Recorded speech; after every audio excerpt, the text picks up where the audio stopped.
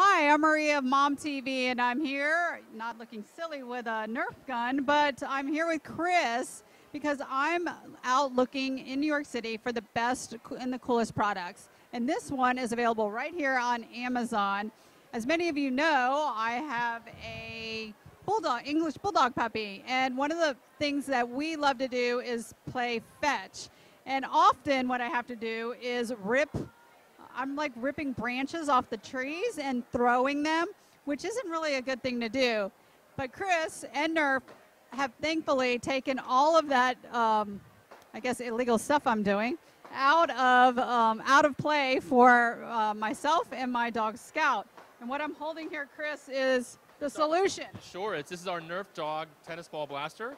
Um, it's kind of our alternative to the the traditional Chuckit toy or just your regular hand.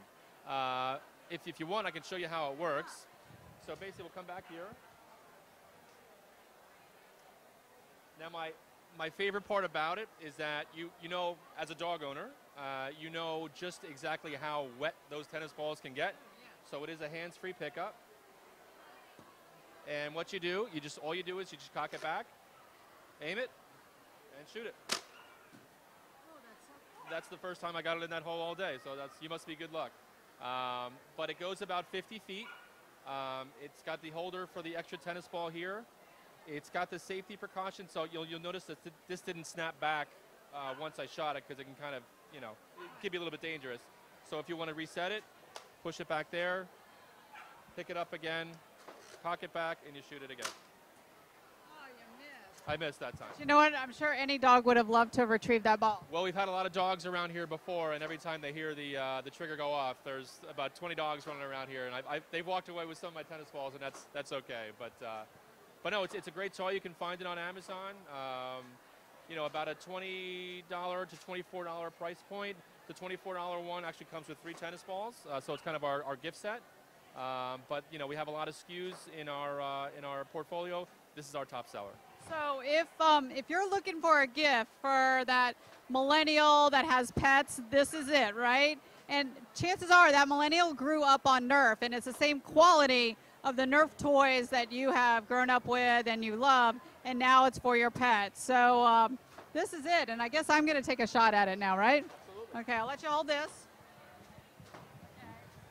So you want to push that button and push it all the way back up, and you're going to pick up a ball like that.